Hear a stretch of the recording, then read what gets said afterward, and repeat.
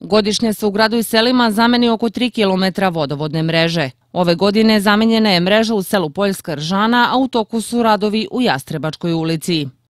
Dužina glavne vodovodne cevi je negde oko 550 metara, odnosno sa priključnim vodovima oko 1100 metara. Mi smo glavni vod završili, pokušavamo da ubrzamo ove radove bez obzira na kišu i tamo su nam dve ekipe i želimo naravno, ili kažem pokušat ćemo bez obzira ove vremenske prilike da do kraja meseca ulicu završimo kako bi kasnije direkcija za uređenje grada mogla da asfaltira i potpuno uredi ovu ulicu. Znači, to su trenutno radovi koji su najaktuelniji. Posle toga planiramo dve ulice, Živojna Nikolića, Brki i Promajska, znači još dve ulice koje su opet predviđene za asfaltiranje i kao što vidite, Ovi naši planovi na zameni vodovodne mreže su potpuno usklađeni sa direkcijom, odnosno sa asfaltiranjem ulica i meni je drago da smo uspeli da te naše planove usledimo. U toku su radovi na izgradnji postrojenja za prečišćavanje otpadnih voda u selu Izvor. Ovih dana počeće izgradnja kanalizacione mreže u ovom selu.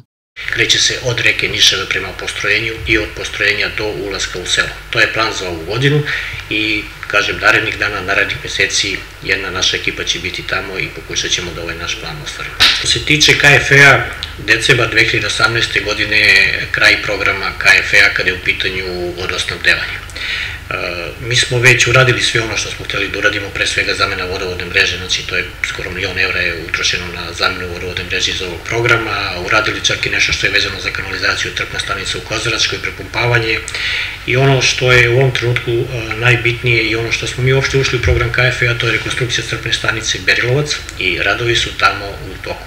Neki rok je decembar ove godine da se sve završi, jer kao što sam rekao, čitav program KFE-a se završava i sva plaćanja moraju da budu završene. Izgradnjom postrojenja za prečišćavanje otpadnih voda na nivou grada, vrednosti oko 10 miliona evra, biće nastavljena saradnja sa KFV-om, rekao je Nikolić. Eto za vašu televiziju možda jedna ekskluzivna vest, a, kada se podvuče crta i svi tenderi su završeni, nama će ostati neiskorišćeno negde nešto preko 200-270 hiljada evra iz ovog programa.